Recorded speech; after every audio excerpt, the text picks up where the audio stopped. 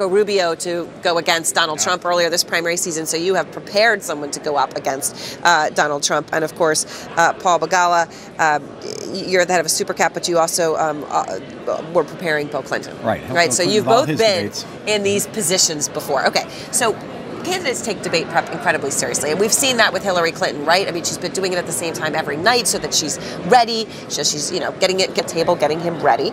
Paul, is that a mistake? Well, we'll see. I think yes. You think it's a very individualized process. You have to know the candidate. You have to kind of. In terms of what we know of each of them and how they have done this so far, let's take a look at the attacks.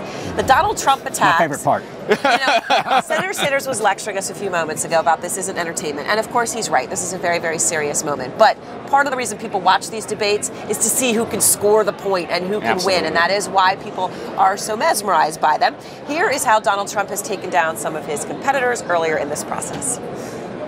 Okay. All right, so Paul, how does she prepare? Even if that isn't the Donald Trump who shows up, right? No matter what, Donald Trump is is, is clever with a quick line mm-hmm. that comes to his head. It isn't a rehearsed put down; it just will come to him. How it's going to be the sedated Trump? I guarantee you.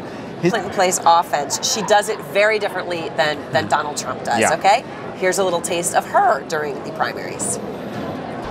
All right, she knew every single voting record. Yep. In this case, it is going to be knowing every negative detail she can find about Donald Trump's business.